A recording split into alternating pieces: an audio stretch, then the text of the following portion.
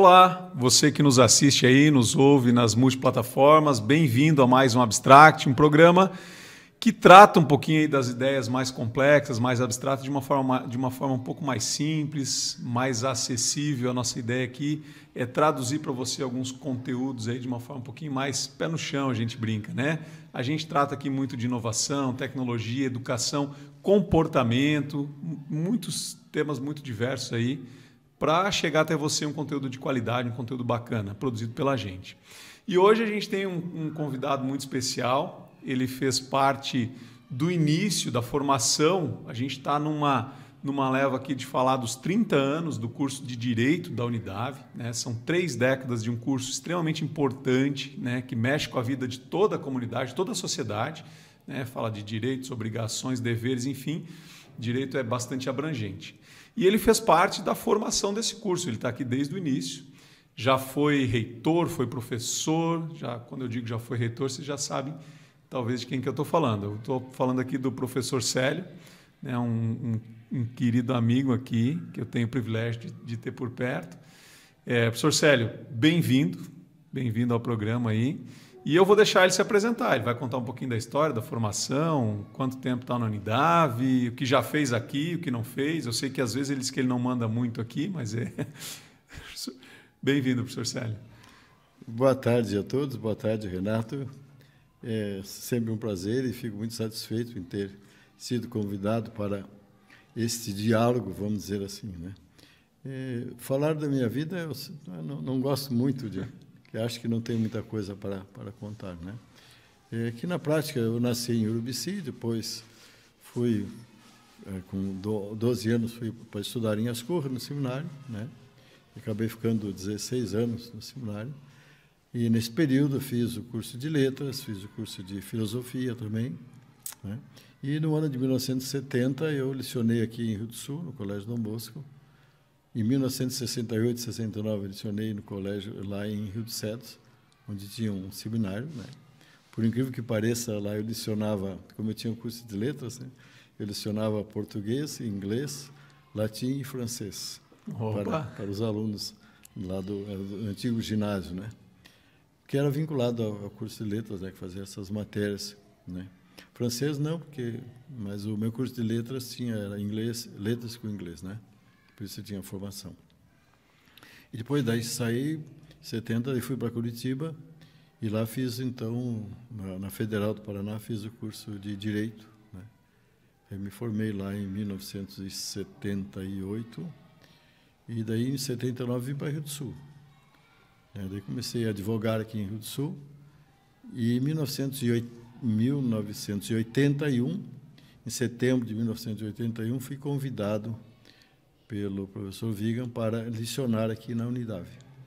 É, o professor Marcos Satorato era professor aqui na, na Unidade, na, na, disciplina, lecionava para o secretariado, que é um curso que tinha aqui, e, e também lecionava para o curso de administração. Né? Mas aí o professor Vigan só me convidou para lecionar aquela disciplina de direito público e privado que tinha no curso de secretariado, né? Naquele período eu dei aula para o Josué, que ainda está aqui hoje, o Roberto, eles também faziam secretariado naquela época, né?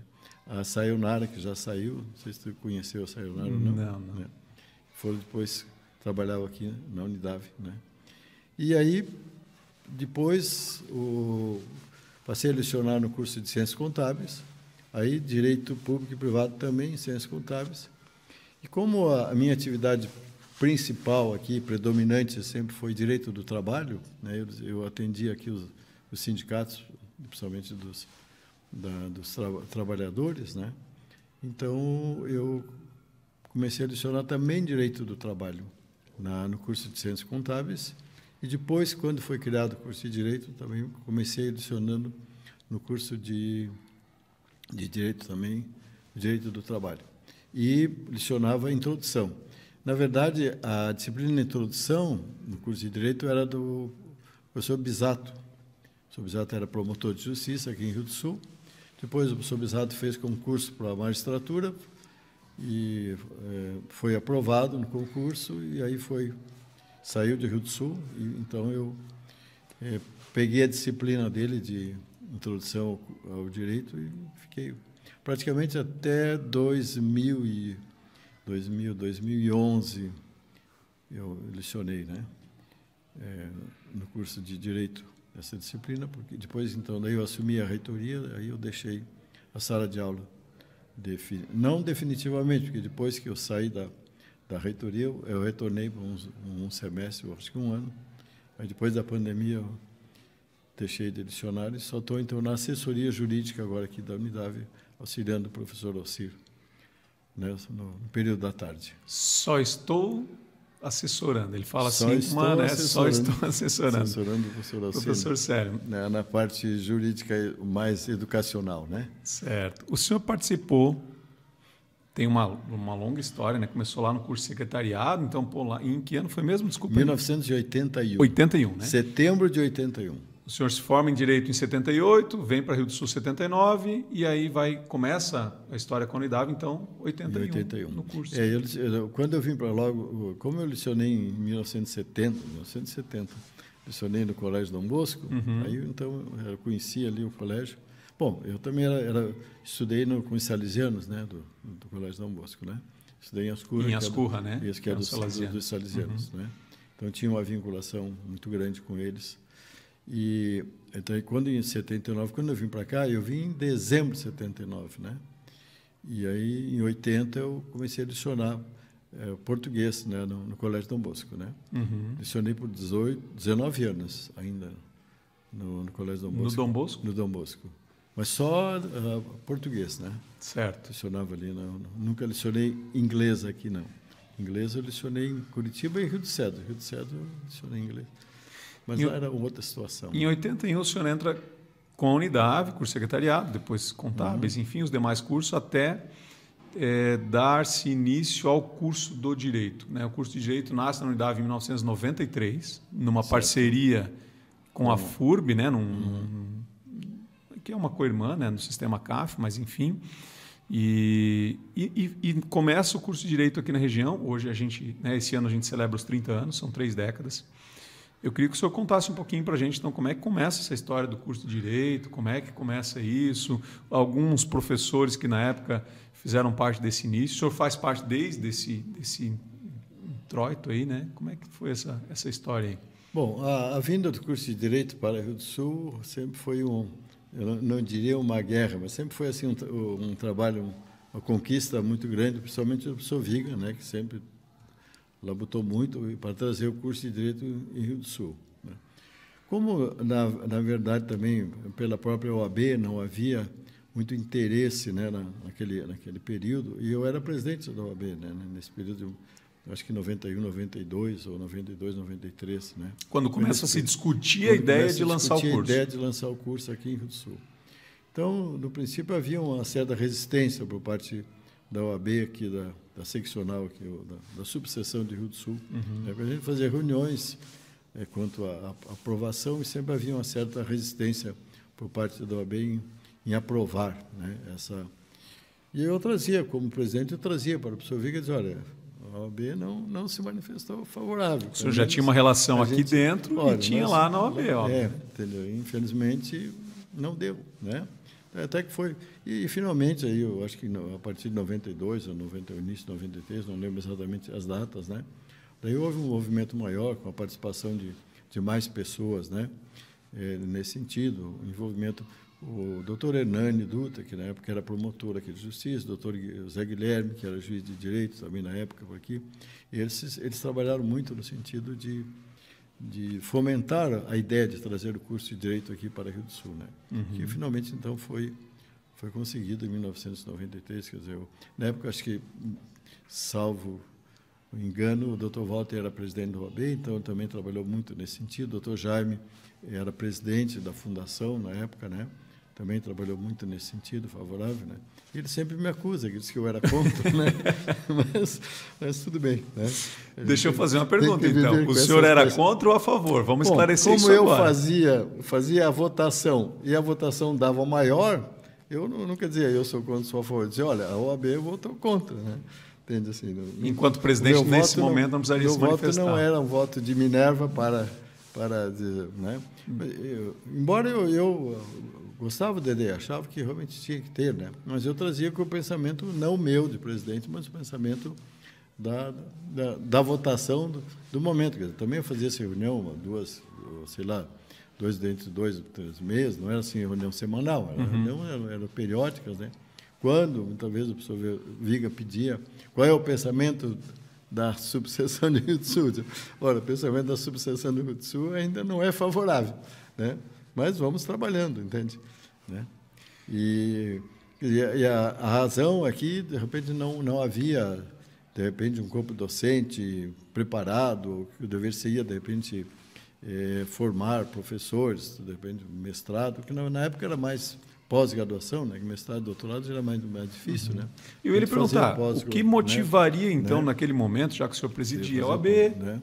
Conhecia os pares, Sim. o que, que podia motivar essa posição é. contrária? O que, que o senhor acha? Eu não sei se, se, qual era o motivo, se preocupação de ter muitos advogados na região, enfim, o motivo exatamente Uhum. Se, se perguntava quem é a favor, o diga, Mote é a favor, quem é contra, né? não, não se discutia muito a motivação. Né? Mas, enfim, é, é, isso, isso, também não foi lá muito tempo, né? talvez tenha sido aí um ano, dois, que tenha que ser é, tido essa, essa pequena divergência né? entre a OAB e, e a própria e a própria unidade. Né? Mas o fato é que depois criou-se o curso e, e todos abraçaram a ideia e, e vieram trabalhar aqui na Claro, não era, nem, nem todos os professores eram daqui, eu, como agora ainda alguns são de fora ainda, né? Na, na época, imagino que a, a, a boa parte a devia boa parte vir da FURB mesmo. da FURB, né? Alguns outros de Blumenau, de Florianópolis também, né? apesar da dificuldade um pouco mais de, dos Os... acessos, mas sempre a, a, grande maioria vinha da FURB, mesmo de Lages também, da, da Uniplac também alguns professores, né? Mas, o senhor tem lembrança da primeira turma? O que, é que você pensa em de lembrança da primeira como turma? Como é que era a primeira turma? Como é que foi? A primeira é turma era uma turma muito boa. Assim, porque como, como normalmente só ia acontecer nas, nas primeiras turmas, né? em geral são um, um pessoal mais adulto, né? Embora tenha tido um, bastante procura, vamos dizer assim, eu acho que eram quatro, cinco, seis candidatos por, por vaga, vamos dizer assim, na, na época, né? Entende? Mas é, diversos alunos, a grande maioria deles já tinha alunos já com muitos cursos, com curso de administração, alunos, teve até o, o doutor Ademir, que era curso de, era, era médico, né? médico né? Uhum. Teve um, o, acho que o, o Dera Justina, acho que era Uh, que era dentista, tenho a impressão, né? Enfim, uhum. uh, diversos alunos né, já tinham uma graduação. Então era um pessoal já mais maduro, pessoal mais mais responsável, né? Entende?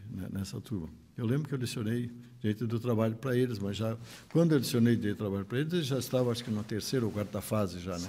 Eu não lecionei na primeira na fase. Primeira fase. Não, quem lecionou na primeira fase foi o, o professor Bisato, né? O, que uhum. depois uhum. ficou juiz de direito, né? Era promotor de justiça na época. Certo. Ele que lecionou introdução, né? Bom, eu acho que eu vou, eu comecei a lecionar introdução para eles, acho que eu acho que a partir da terceira ou quarta turma, né? não lembro exatamente. Já posterior. Bem, já, já tinha duas, três turmas em, em andamento quando eu peguei a introdução. Né? Uhum. Bom, professor Célio, um dos.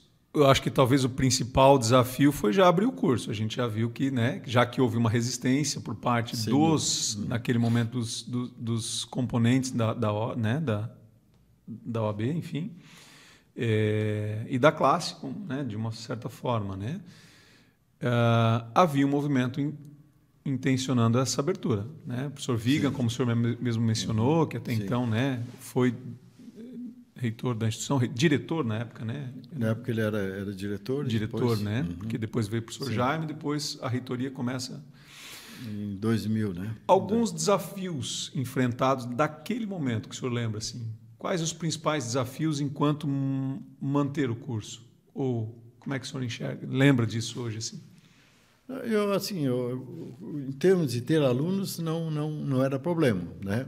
Eu, o, o, início, obviamente, seria, os desafios maiores seria a, a formação de uma boa biblioteca, né? Uhum. depois a, um local para os estágios, né? porque aí, a partir da sétima fase, então, tinha que ter um local para fazer o estágio. Eu lembro que daí nesse, nesse período se fez a reforma da biblioteca e aí passou a funcionar aqui na onde eu hoje tem aquele curso de inglês ali então embaixo ali, da biblioteca embaixo da biblioteca uhum. ali foi foi construído um prédio e adaptado exatamente para o funcionamento do, do estágio de, do curso de direito né que é a partir da sétima fase então estava ali e até eu comecei quando começou o estágio eu também comecei a adicionar no estágio o Dr. Jairo Pasqualini também começou naquela época o Carlos Claudino são todos professores ainda né, que já adicionavam no estágio naquela época quem mais o professor Fúvio que coordenou por muito tempo o estágio.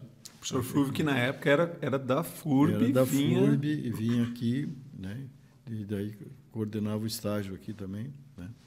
Aí, aí tinha a FACSU, a FACSU era uma faculdade né? que, que, que centrava os cursos das áreas humanas, né? pegava então direito, enfim, que mais pedagogia, letras, enfim, esses cursos todos, né, da, da, da áreas humanas. O professor Viga, o professor Ivens era o diretor da, da FACSUL, e ele então e o Dr. Jaime por um período coordenou também o curso de direito, né? Exerceu, uhum. Ele era presidente da fundação e também coordenador do curso de direito. De direito né? naquele momento. É, naquele momento também, sim. Bom, alguma coisa. E era professor do curso também, né? O Dr. Jaime, o Dr. Walter também, né? Os, os três mais antigos que estão aí hoje, né? praticamente somos da, da mesma época. Né? O senhor está me contando aqui que está há 42 anos aqui já. estou desde 81. 81, né? então são quase... Quanto tempo dá, não sei, mas estou desde são 81. 42 é, anos. Acho que são 42, 42 anos. Sim. 2023. Ah, eu fui registrado em 83, né? mas eu comecei em 81. Eu até tenho uma foto, né, em que eu, uma foto de, de 81, com a assinatura do professor Viga, né? E tem lá na, naquela fotografia os, os, professores que eram do secretariado. Então, o professor Orlando Stringari, o professor Ricardo, que era professor de inglês, o professor Olívio Mateus, o professor Zenilton, o professor José Murara, né? e eu também. E eles estão trajados com o time de futebol, e eu estou com, com, roupa assim, né? e, tô, e, aí eu estou como técnico do time. Né? Essa é uma foto de 1981, né? é, um, que é quem tinha um campo de, de futebol de salão, aqui onde é hoje o ginásio, né? Depois foi destruído e feito o ginásio de esportes aí. Professor Sérgio, você comentou ali do, do núcleo de práticas jurídicas, que era um pré-requisito para que o curso também né, eh, existisse, na verdade. Sim. Né? Uhum. Hoje, hoje ele atende muita gente, muita gente mesmo. Né? Eu, eu, não vou falar números porque agora aqui não tem, mas são mais de quase 2 mil atendimentos assim, ao longo Sim. do ano. E isso somando-se, quando você vai colocando que os casos vão levando um certo tempo para serem resolvidos. Então, quando você vai somando, a gente vai passar aqui seguramente de 3, 4, 5 mil é, casos aí, né? Esses 30 anos, né? Então... Naquele período, como é que era a demanda? Que era menor, pouca gente tal. Tinha demanda? Tinha bastante demanda? Como é que era isso?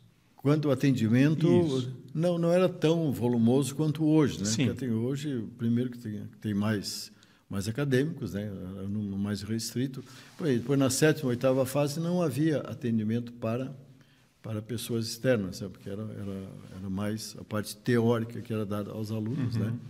E depois, então, na nona e na décima fase, que eles então começavam a atender as pessoas externas, né? Mas o, o movimento, óbvio, que era menor, até também porque não havia também tanta divulgação quanto a esses trabalhos, né? Esse atendimento externo, sim. Mas era um, era um movimento bom, né? Um movimento. Tinha, tinha movimento para, ter, para todos os acadêmicos, né? E, e as turmas eram pequenas também, eram, eram normalmente de seis a oito acadêmicos com cada cada professor, né? O, até na, na, época foi construído, foi projetado, a ideia do professor Vigueira foi bem interessante, que, deveria funcionar, funcionou por um certo tempo ali, o juizado das pequenas causas, então Já havia isso, é, é, havia assim uma sala onde as audiências aconteciam uhum. e projetava a, toda a audiência para a sala de onde os acadêmicos estavam.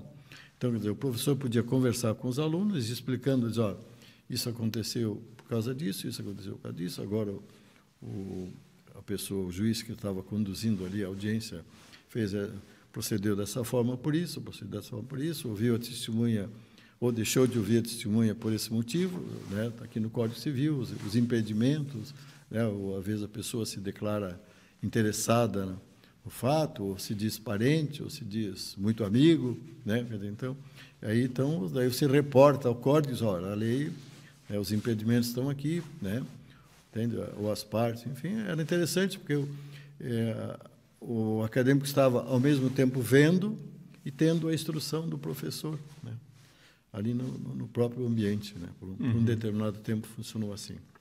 Alguma, Depois, alguma história que o senhor lembra que que, que marcou é, infelizmente assim, assim, não traz nenhuma história nenhum, pitoresco da, da, minha vida acadêmica aqui não não tenho nenhum fato assim nem enquanto reitor relacionado ao curso não. depois disso o senhor foi reitor não não, né, não durante... quando a reitoria não porque depois eu praticamente me, me desliguei da, da, da, sala de aula né Sim. Entende? então estava mais em contato com os professores em contato com os alunos também mas assim fato excepcional da vida acadêmica não, não não tenho assim nenhum, não, não tenho lembrança, né? Não, não me vem à mente nenhum, nenhum fato nesse momento. Né? Pensando nos Mas, 30 anos. nesse tempo assim, eu, eu, eu advogava também, né? Uhum. E também eu tinha um escritório de advocacia, né?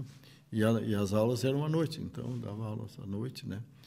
É, depois, por um certo período também tivemos o curso de direito matutino, né? Mas aí era, era só uma vez por semana, também não era não, muitos problemas, né? Mas, Pensando nos 30 anos, já daquele período, né, que a gente foi até para. Estamos pensando em 93, são 1, 2, 3. Lá 97 e 8, provavelmente começaram os atendimentos à comunidade, né? Porque vai lá para a nona, décima fase. De lá para cá, muita gente já foi atendida, o curso já formou muitos profissionais, né? A gente vai trazendo uhum. esses números no, nos episódios aí. É, nesse tempo, o senhor perpassa enquanto professor, depois vice-reitor, depois né, reitor da instituição.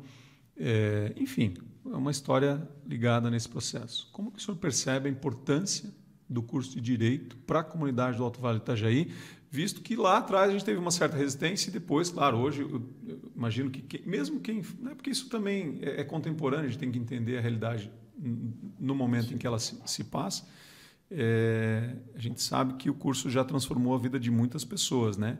Como é que o senhor analisa isso hoje, né, passadas três décadas nesse sentido? Eu realmente acho que foi muito importante, né, não só para os acadêmicos, mas principalmente para toda a região, né? Primeiro, que sempre o Dr. Jaime sempre dizia que a importância dos cursos aqui é que você fixa aqui o, o acadêmico, né? Além de você muitas vezes trazer de outra cidade, mas eles eles ficam aqui, não saem para outras cidades, é, ficam a família e acabam trabalhando na, na, própria cidade onde de onde eles vêm, né? Uhum. Então, e hoje, na, na, prática, você em todos os municípios aqui da da Amávio, da, da, do Alto Vale do Itajaí, você encontra advogados em escritório de advocacia, né? Em toda a região, porque antes, quando eu vim para cá, é, praticamente era um, um, número muito limitado de advogados, mesmo em Rio do Sul, né? e na, nas regiões Taió, Itupuranga, é, muito, muito limitados. Né? Os, os mais esforçados e que tinham condições iam fazer curso em Blumenau ou, ou Itajaí, ou quem tinha condições, aí morava em Florianópolis, né? mas muita gente ia daqui a Blumenau e voltava todo dia, ou de ônibus ou de carro ou a Itajaí também, muitos foram. E o fato de criar os cursos aqui, não só direito, mas todos os outros cursos que depois foram abertos e criados aqui, né? Eh, tem, tem essa, esse, esse grande mérito de fixar as pessoas aqui na região. Né? E aqui trabalham, e obviamente que sempre traz conhecimento, traz desenvolvimento. Hoje, nos fóruns, no, em todos os locais que você vai, você encontra alunos formados aqui pela unidade. Né? Inclusive Isso, de cargos né? superiores, né? juízes, sim, tem juízes federais. Juiz né? federal, juiz estadual, promotor de justiça, em todos os, né, na polícia, né, em todos os órgãos, eh, Ministério Público, oficial de justiça, enfim, todos os, né, sem contar os funcionários do, do, dos fóruns, né, que trabalham ainda atendendo a toda a população, né. Isso se dá em, to, em, todos os em todos os campos, né, mesmo no campo de pedagogia, Sim. nas escolas, e agora, curso de medicina, nós vamos começar a sentir esse, a presença do médico formado aqui, né?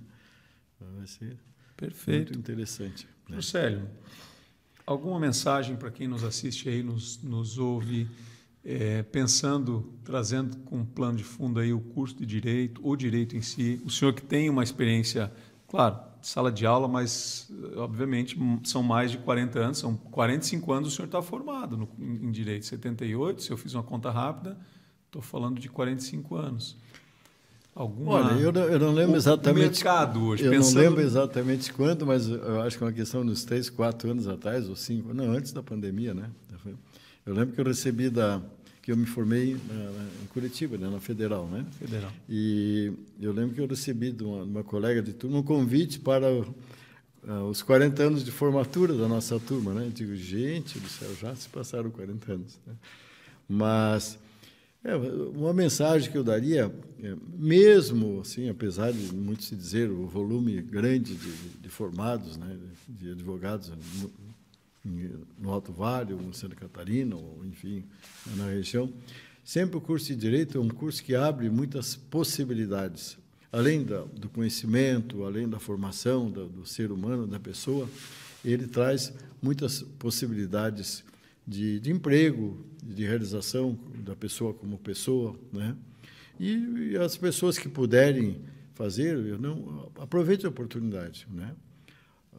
além do, também do, do, do, fato de você conviver com, com, outras pessoas de outras idades, né? porque hoje é muita é mais gente mais nova, né?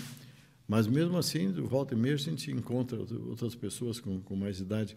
Antes até estava comentando com o Aldo aqui um, um, fato que quando você vai dar aula e tem algum aluno de, de mais idade, assim você fica fica pensando será que vai me incomodar, né? Eu até comentei com o Aldo, eu disse, olha, eu, eu dei aula, por exemplo, para o professor Gentil Bertoli, né, uhum. que, foi, que, fez direito por um determinado tempo, e foi um excelente aluno. Aluno, assim, no sentido da, da contribuição, porque ele já tinha sido prefeito de Rio do Oeste, já, né? E quando eu dei aula, ele somente ajudava, assim, com exemplos, inclusive no sentido de exortação aos alunos, de, de, de, de estudar, de esforçarem, porque a vida é muito útil, né? dizer, o estudo é muito útil para, para a vida, né? E, e é interessante, assim, essas pessoas adultas, de mais, com mais idade, com mais experiências, eles somam muito né, quando vêm fazer um curso superior, né? Porque eles vêm primeiro com a experiência da vida, né? E segundo com o conhecimento né, que a experiência deu, o trabalho deu a eles. E isso sempre estimula muito e, e ajudam muito também na, na própria disciplina da sala, né? Porque eles mesmos ajudam muitas vezes a chamar a atenção de um ou de outro que está lá perturbando, eles ajudam a, a chamar a atenção. É bem interessante assim, esse lado positivo das pessoas adultas ou com mais tempo de, de vida, né, quando eles frequentam a, a escola, né? Entende? Então, mas eu, se eu puder dar, dar uma mensagem, aproveitem. Né? É interessante, Renato, esse lado da vida, nunca, pouco que eu tenho contado para, para as pessoas, não sei se posso contar aqui. Pode contar. Aqui. Quando eu fiz o curso de letras, né, lá em Lorena, em São Paulo, a gente fazia um curso que, que recebia licenciatura, o, o diploma, né, e fazia também filosofia, mas era mais para a formação, do, digamos assim, do, do sacerdócio, né, na vida para a formação sacerdotal. E eu, lá no quarto ano de letras, eu fui um dia dizer para o professor, professor, eu estou muito desanimado, eu não sei se eu vou continuar o curso de, de inglês, né? Ele disse assim, não, não, vai, você está reprovado? Eu disse, não, não reprovado não estou, mas estou tão desanimado. Disse, não, vai em frente, não desanime. Não. Então eu fui, passei e tal. E quando eu fui para Curitiba, trabalhar em Curitiba, porque daí eu estudava e trabalhava, eu só licionei inglês. Né? Olha só. Não, não, não, não dei aula de português. Depois que eu vim para cá, daí dei aula de português. Então, digo, as oportunidades na vida a gente nunca deve perder, porque você nunca sabe o dia de amanhã, né? Que você vai aproveitar, o que não vai aproveitar, né? Então, são, são coisas interessantes, né? Que, eu, que você não sabe que é o teu dia de amanhã e futuro, né? Só a, gente, vida que vai apresentando A vida que vai apresentando gente. e vai cobrando e vai... Né? E, e, aquilo que você deixou de fazer não volta mais, né? Então, é verdade. Eu, é, como diz, é, uma oportunidade perdida, uma flecha lançada e uma palavra maldita são coisas, coisas que não voltam mais, né? Então, as oportunidades a gente tem que aproveitar, em qualquer idade, né? Qualquer momento, porque nunca sabe como é que vai ser o dia de amanhã, Né? Eu, às vezes, encontro alguns, algumas pessoas aí na, na cidade né, que me dizem assim, professor, eu fiz direito por sua causa. Digo, mas é por minha causa, por quê? Porque o senhor que me disse que eu devia fazer direito. né? Digo, ah, que bom. Dizer assim, eu estou muito realizado hoje né, nessa profissão. Digo, ah, que bom que te dei um conselho bom, pelo menos, pelo menos, pelo menos um na vida. né? Então, tá bom, fico feliz que tenha te ajudado nesse lado. assim. Mas Graças... sempre que posso, né, eu acho, que, eu acho que o curso de Direito é um curso muito bom. Né? Ele é bastante completo, abre, né? É, muito, é, te, te abre muito te dá muitas possibilidades também, né? Engraçado que o senhor começa o nosso episódio de hoje aqui dizendo que o senhor não tem muita coisa para falar, né? Hum. E tem bastante coisa para falar. ah, tá bom. De repente a gente começa a rememorar e lembrar essas coisas da, da vida da gente, né? né? São muito, são, pelo, pelo que se passou, né? Entende? É, a vida a gente não, não é fácil, né? Não, mas, mas é uma história a ser contada, né, professor é, Quem é, participou lá do vida, início. Uma vida vivida. Né? Se contando, esquecendo, né, não esquecendo, mas deixando de lado o restante, mas a gente está falando agora, né, os 30 anos, são três décadas de uma história ligada diretamente a um curso que é hum. e foi e continua sendo a sua profissão hoje enquanto assessor, e claro, o escritório do senhor, imagino que ele é, ainda exista. Existe, o meu filho tá, continua né, no escritório. O senhor não atua mais no não, escritório, não, não. mas mas está ali, né? Estou na área ainda. Está na área ainda. Está uhum. atuante na profissão. Isso que é muito bacana. É. Professor Célio, muito obrigado pela sua presença aqui, pelas suas palavras. Quiser falar mais alguma coisa aí que eu não perguntei? É isso? então tá bom. Você que nos, nos acompanhou até o momento aí, Percebendo esse conteúdo, você vai, vai ver quão interessante é essa palavra, sobretudo a palavra final, né, da importância de a gente dar continuidade às nossas formações em tempos de muita disputa com a própria tecnologia, não é mais só com o teu concorrente, então é, cada vez mais se faz necessário você continuar estudando. Então, a gente está falando de um curso, mas como disse o professor Célio, são tantos a serem, tantas possibilidades que você tem pela frente e não deixe passar, porque o tempo passa muito rápido. Quando você olhar para trás, se passaram 30 anos. Né? A gente está falando de um curso que nasceu, parece que foi ontem, mas já são 30 anos. Então, gostou desse conteúdo? Compartilha, dá um like aí e segue a gente aí, se inscreve no nosso canal, que a gente vai estar tá trazendo muito mais coisa interessante para você em termos de conteúdo, em termos de compartilhamento de algo que seja é, produtivo e positivo na tua vida. Valeu!